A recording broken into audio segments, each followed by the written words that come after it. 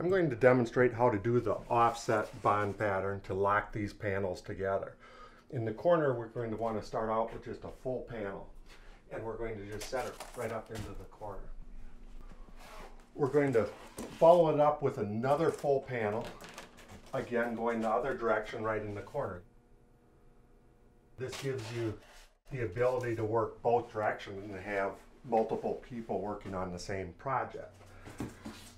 Now, in order to get the offset bond to lock together, we have to cut along one of these cutting lines here to interlock the panels together. We'll do that with just a long snap off utility knife and we'll just follow the line across here. And usually I'll do a, a score first, not all the way through, and then just follow it up with another. And that will give you a nice clean cut. We're going to use both pieces of this. We're going to start out with this piece and put it in here like this. And then the other piece goes directly right around the corner and we'll give you the offset bond in both directions. And then we'll just continue this interlock all the way around.